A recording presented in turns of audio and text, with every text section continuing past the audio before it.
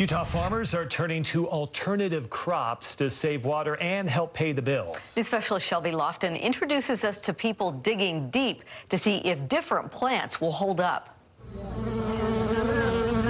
You want to grow as much as you can and outcompete the weeds. This flower farm in Kanab wasn't always in bloom. It was historically uh, irrigated alfalfa. Loretta Clayson just babies. and her husband bought the abandoned land and transformed it into Journey Farm. Flowers make people happy. Clayson says it brings in a steady income, but it's labor intensive. I think some people have the fantasy that flower farming is skipping through fields and fields of blossoms in your flowy white dress, and that doesn't stack up to when you're out here hand weeding in 110 degree heat. She relies on drip irrigation to keep her plants alive. The efficiency of putting water in the root zone right next to the plant where they need it.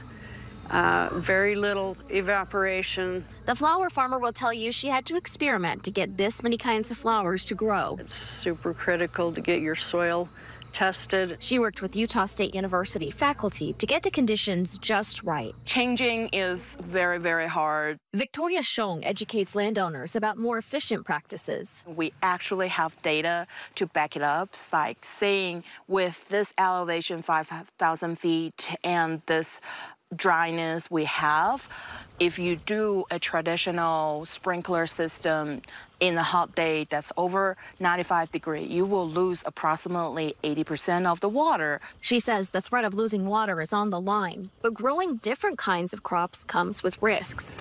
Well, so this is current. Uh, Rancher it's, Matt it's, Redd understands uh, why some producers may be hesitant to try new crops. There's not one silver bullet that's going to help us create a solution for the changing world. Last fall, he started a project testing Kernza. It's an alternative forage crop.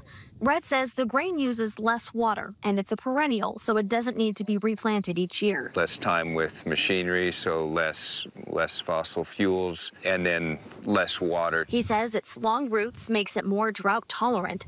They're still tracking this pasture to determine if Kernza can be a reliable option in the long run. We felt good about the success rate, but we want to see what the if we improve that by doing a spring planting. The goal is to keep farmers working and keep food on Utahns' tables. You already have um, agricultural producers, whether they're farmers or ranchers, looking for alternatives. Reporting for KSL 5 News, Shelby Lofton. Shelby, thank you. This story is part of the Colorado River Collaborative featuring work from journalists all across the state.